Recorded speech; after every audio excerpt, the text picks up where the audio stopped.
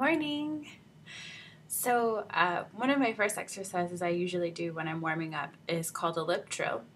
And uh, you make it by taking a deep breath in and uh, letting it out and letting your lips buzz. So it looks like this. Excuse me.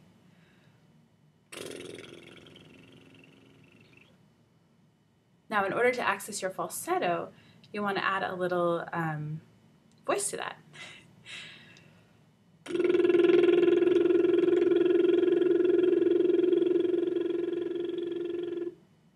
You hear how it sounds like one long, thin line? You want to make sure that your voice is doing that too. So if it sounds like or something like that, that means that your breath isn't heading out of isn't leaving you in a in a controlled way. Um, so what you want to do then is think about expanding your breath down here in your ribs. So when you take a deep breath in,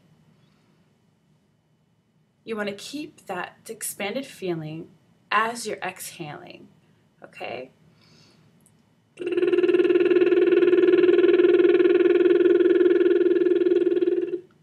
And now you can add other exercises to that.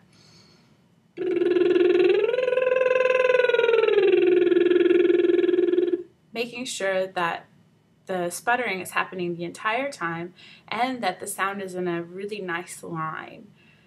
Okay? Let me know if you have any questions.